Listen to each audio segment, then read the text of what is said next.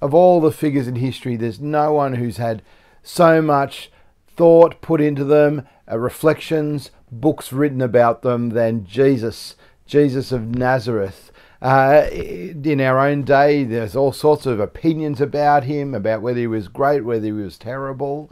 Uh, there's there's people who are absolutely devoted to him. There's people who are not his followers but admire him. Uh, there's lots who have uh, opinions about him. And, and I guess uh, in the end, uh, lots of people think he's great. Like he's a good teacher, he's wonderful, uh, said some good things, helpful. Uh, but it's really strange because in his day, that's just one of the things you couldn't come to conclusion of. Either you thought he was much better than that, bigger than that, or you were uh, down on him and against him. And uh, of course, he existed. No one, uh, no one in the scriptures was seeing this guy and thinking, "Well, who is he? He's not real." Uh, it's only kind of uh, very ultra postmodern thought that's ever doubted that Jesus ever existed. It's clear that he did from history. Um, but who was he? And even in his own day, he was a bit enigmatic. There were people who were asking questions and wondering who he was. I mean, we've seen uh, all the sorts of things that have been raised about him. Who is this that calms the storm? Who is this that claims to be the God who forgives sins? Could it be true? And Jesus understood that the crowds were divided and confused, and some were excited. Uh, and so there was a moment in our next tough question is when he asks, Who do people say I am? But even more, he's going to press the disciples and ask them to come to a conclusion. Let's pray. Let's get into God's word. Father, thank you for your word. And we pray as we see this question about Jesus' identity, we pray, please, that you'd help us to see clearly who Jesus is. Amen. We just come off last time looking at this kind of weird healing that Jesus did, the only one where he kind of half got it right, or so it seems, that it went in two stages. Uh, where the blind man had uh, sort of been partially able to see, but people looked like trees walking around. And uh, then Jesus went again and he could see clearly.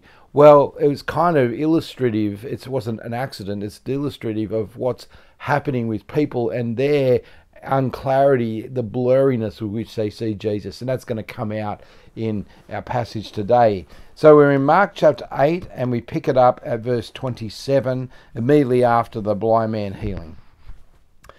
Jesus and his disciples went on to the villages around Caesarea Philippi. On the way, he asked them, Who do people say I am? They replied, Some say John the Baptist, others say Elijah, and still others one of the prophets.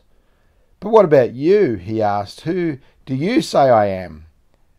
Peter answered, You are the Messiah. Jesus warned them not to tell anyone about him.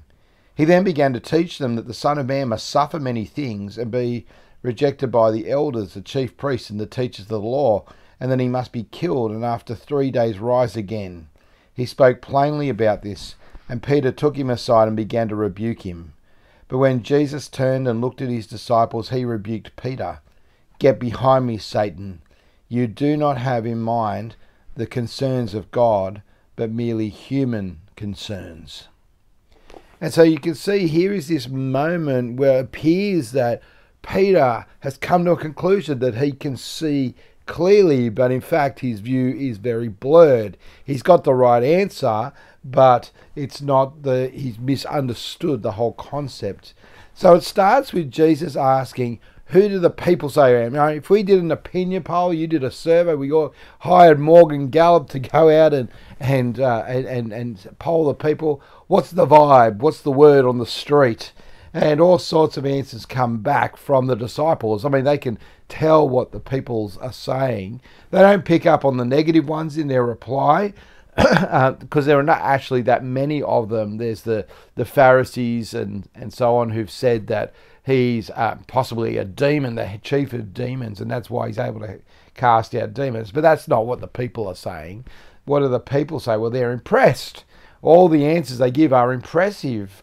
Uh, the first one's a bit weird. Some say you're John the Baptist. That is uh, Jesus' cousin, uh, as we find out uh, elsewhere in Luke's Gospel. Jesus' cousin, who'd been beheaded by uh, King Herod, and King Herod had started this rumor after he killed Herod uh, and then heard about Jesus doing all these amazing, miraculous, wonderful things. He figured John had come back to haunt him, that he somehow his head had been reattached. And obviously, that when the king thinks that, as he's going a bit mad, uh, lots of other people are taking up. Well, maybe that's true. If the king thinks it, the king knows what he's talking about. And so rumours started to spread that maybe this is John the Baptist again, that it, maybe he'd escaped jail and he was back, or maybe he'd defeated death and he was back. Others were saying, well, no, no, you're, you're Elijah. Right? Elijah is a prophet from the Old Testament in one of the darkest periods of Israel's history when the nation had turned against God and all sorts of consequences were coming.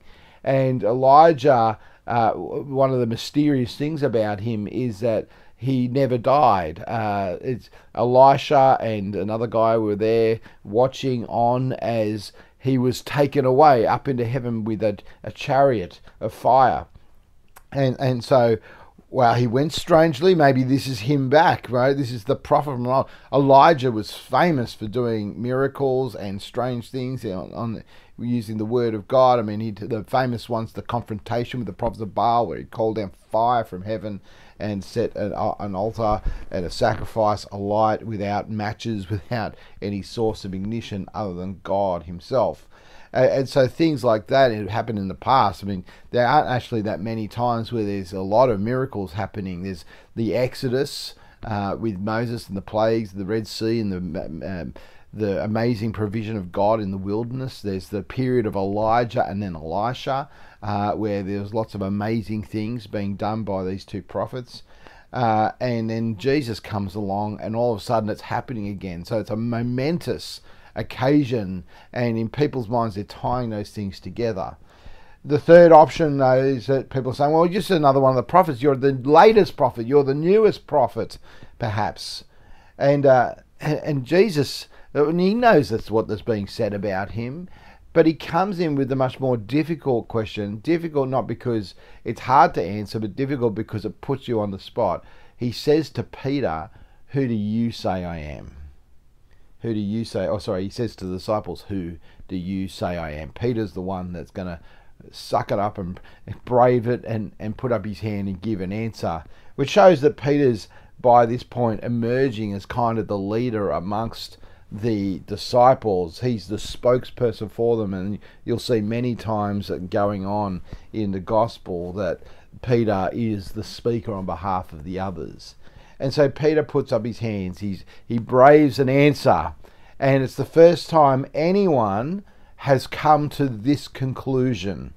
Uh, he says, What about you? Who do you say I'm? Peter answered, You are the Messiah. Jesus warned them not to tell anyone about him. That is, he doesn't say that Peter's wrong, he's just saying, Keep it a secret. Right? I am the Messiah. He's he's accepting what Peter's conclusion is. Now, what is the Messiah? We have all sorts of uh, terms in our modern day parlance about a Messiah complex and things like that. You know, just this great deliverer. But actually, the Messiah is more than that. In the Old Testament, the Messiah, the word means anointed one. It's uh, in from Hebrew. Uh, it's a, a, Hebrew word in the Old Testament.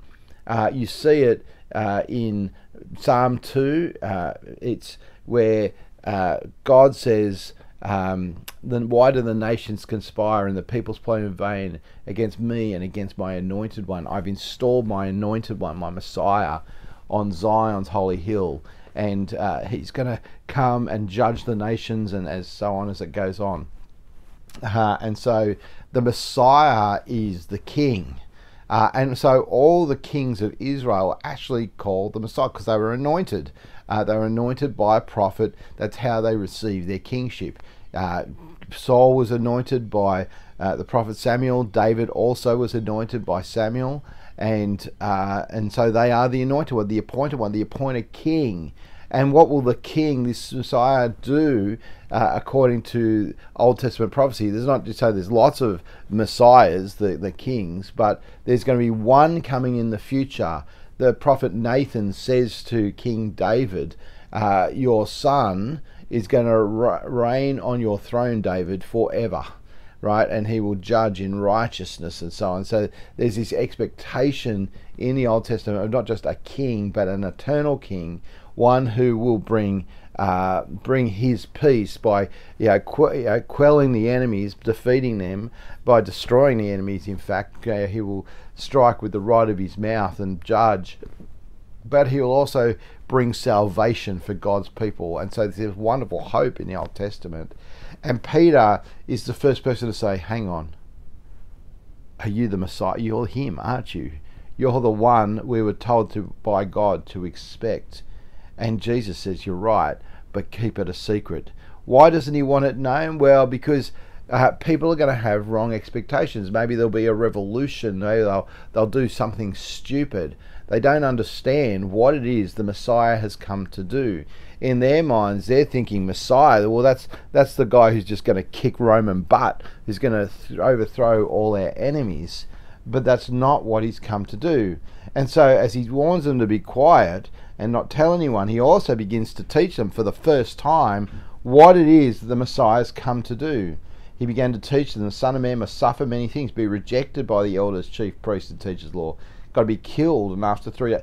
Now, this is totally unlike anything they've expected, right? The king doesn't come to be rejected, the king comes to seize power and to be admired and worshipped and followed and submitted to. And so, in Peter's mind, he's got the right answer, but he's seeing people walking around like trees. It's all a bit blurry because he doesn't understand. He hasn't put everything together from the Old Testament that actually there's someone is coming to do these things, be rejected and die, and then rise.